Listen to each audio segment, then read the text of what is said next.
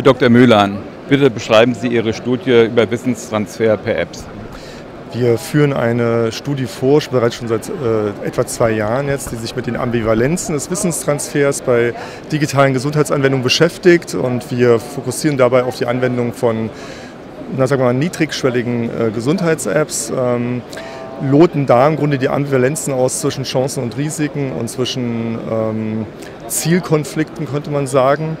Ähm, lassen dabei auch nicht die Potenziale außer Acht. Ja? Also äh, überall dort, wo sich ähm, die Untersuchung auf den Wissenstransfer richtet, machen wir das nicht nur mit Hinblick darauf, ähm, welche Probleme, Ambivalenzen ergeben sich daraus, äh, sondern eben auch, ähm, welche möglichen Potenziale lassen sich daraus ableiten. Ähm, welche signifikanten Ergebnisse brachte Ihre Studie im Hinblick auf die Nutzung von Gesundheits-Apps? Also wir sind im Moment natürlich noch im Prozess. Insofern kann man von belastbaren Ergebnissen nur eingeschränkt sprechen, aber man kann schon von ersten Einsichten äh, sprechen in jedem Fall. Ähm, was man sieht, ist, äh, dass ein, ein, Großteil der Anwendungen, die äh, und im Kontext Health Apps, Gesundheits-Apps laufen, äh, von eigentlich auch ohne Beteiligung von Professionellen, also zumindest von Gesundheitsprofessionellen entwickelt werden. Ähm, dass die, ähm, das Eingangstor, wenn man so möchte, für die Nutzung dieser Anwendung die häufig die, äh, einfach nur die App-Beschreibung ähm, darstellen, die aber von der Kommunikationsform so zwischen Werbung und Gebrauchsanweisung changieren. so und sodass so, man ähm, hier besonderen Fokus darauf haben kann, auf die Analyse dieser Aspekte, äh, wie sich der Wissenstransfer schon mal da darstellt, äh, ähm, ob das eher einen Werbecharakter hat, ob das tatsächlich noch einen Informationscharakter hat. Ähm, in Bezug auf die Potenziale kann man feststellen, dass, äh, und das zeigen ja viele andere Studien auch, dass äh, mit Blick auf den Wissenstransfer ähm, dieser Wissenstransfer selten auf Grundlage von Modellen, also sagen wir mal wissenschaftsbasiert durchgeführt wird. Das heißt, hier schlummert sicherlich ein Potenzial gerade für diejenigen äh, Entwickler, die etwas wissenschaftlich basierter entwickeln möchten. Denn ähm, ich denke, nur unter Berücksichtigung auch wirklich von verhaltensbasierten äh, Modellen hat man auch die Chance, eine App so zu entwickeln, dass sie auch auf das Verhalten der Nutzer, was ja schlussendlich auch maßgeblich sein sollte, äh, eine Auswirkung haben soll. Ein anderer Aspekt, der uns aus unserer Sicht noch ein Stück weit unterbelichtet zu sein scheint im Hinblick auf die Potenziale des Wissenstransfers, ist in jedem Fall die Frage, inwiefern Wissen auch als Outcome qualifiziert werden kann, also als ein Zielkriterium.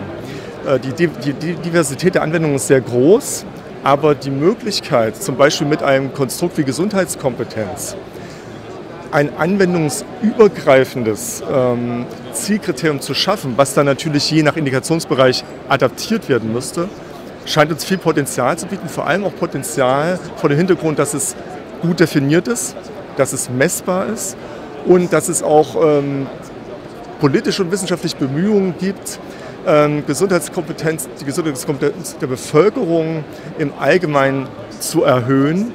Ähm, und da wären sicherlich solche digitalen Gesundheitsanwendungen ähm, ein guter Weg dazu. Die Frage, die im Raum steht, ist ein Stück weit, inwiefern so eine Gesundheitskompetenz nicht nur Ergebnis einer solchen Anwendung sein ist, sondern bereits eine gewisse Voraussetzung bietet, also zumindest in, in, in, in, Form einer sogenannten digitalen Gesundheitskompetenz. Die muss sicherlich ein Stück weit auch vorhanden sein, um überhaupt den potenziellen Nutzer an die Anwendung zu bringen. Was lässt sich über die Einhaltung von Qualitätsstandards bei der Entwicklung von Apps aussagen? Ein großes Thema, was jenseits unserer eigenen Forschung steht, ist natürlich die Abwägung der Chancen und Risiken, insbesondere mit Blick auf die Sicherung der Qualitätsstandards. Da gibt es viele Initiativen, insbesondere ist da zu erwähnen äh, der, der Bericht, der also das Bundesministerium für Gesundheit ähm, vorgelegt wurde vom Charisma-Projekt. Ähm, was von Herrn Urs Vitor Albrecht ähm, vom, aus, von der Uni Hannover vorgelegt wurde. Hier sehr dezidiert, sehr umfassend elaboriert äh, dargelegt, was, welche Qualitätsstandards fehlen, welche Vorschläge gegeben werden können. Und hier ist ja auch von EU-Seite inzwischen äh, Initiativen erkennbar, die auf die Regulierung äh, abzielen. Also hier sozusagen ein Stück weit Land in Sicht, was eine mögliche Zertifizierung oder die Etablierung von Qualitätsstandards angeht. Ähm, ein zweiter Punkt, auf den ich noch zurückkommen möchte, ist, äh, dass sich unser Forschungsprojekt ganz maßgeblich auch mit den Ambivalenzen beschäftigt. Man kann die Ambivalenzen ansiedeln zwischen Chancen und Risiken, aber man kann die auch ansiedeln in Bezug auf die Praktiken selbst, die vermittelt werden. Nämlich mit der Frage, äh, ist denn eine, eine, eine Selbstvermessung immer etwas, sagen wir mal, normativ Wünschenswertes? Oder kann die nicht auch ein Stück weit in Richtung äh, Selbsterschöpfung gehen? Ja, also sozusagen zu reflektieren darüber, welche, welche Ambivalenzen tun sich hier auf bei unterschiedlichen Praktiken. Also das kann, ich hatte das auch in dem Vortrag erwähnt, das kann sich zum Beispiel auch um die Frage gehen, bin ich eigentlich noch Herr meiner eigenen Daten oder bin ich nicht vielmehr Sklave meiner eigenen Daten? Um das etwas äh, poetisch oder prosaisch zu formulieren. Oder bin ich denn tatsächlich Herr meiner Daten in dem Sinne, dass ich noch Kontrolle darüber habe oder haben nicht ganz andere Menschen Kontrolle über meine Daten, von, wovon ich gar nicht weiß. Das sind Ambivalenzen, die sich jeden Fall nicht nur bei Apps, sondern bei digitalen Gesundheitsanwendungen im Allgemeinen auftun. Welche Zukunftsperspektiven ergeben sich? Was ist Ihre Handlungsaufforderung?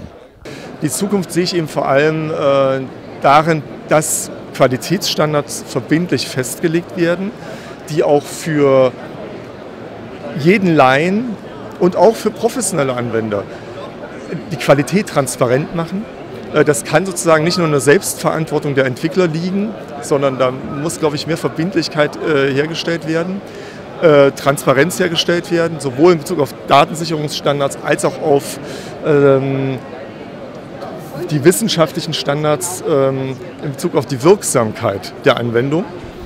Ähm, und dafür hatte ich ja bereits auch Empfehlungen gegeben, wo ich äh, auch konkrete Möglichkeiten sehe in der Entwicklung der Apps. Nicht nur sozusagen in der Wirksamkeitsprüfung, äh, sondern eben auch in der, in der Möglichkeiten, bereits im Stadium der Entwicklung dieser Apps wissenschaftlich fundierter ja. vorzugehen.